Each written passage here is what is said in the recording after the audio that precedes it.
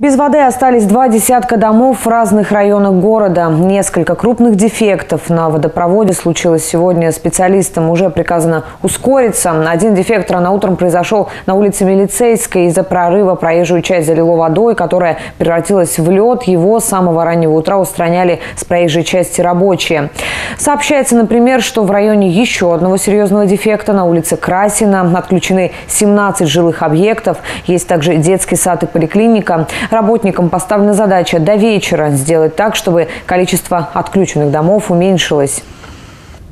Мы ведем работы по переключению водопроводных сетей, чтобы минимизировать количество отключенных домов. Планируем, что после этого будет отключено от воды всего 6 зданий. Работы продолжаются. Планируем также завершить их до конца дня, либо уже начиная бригада продолжить работы.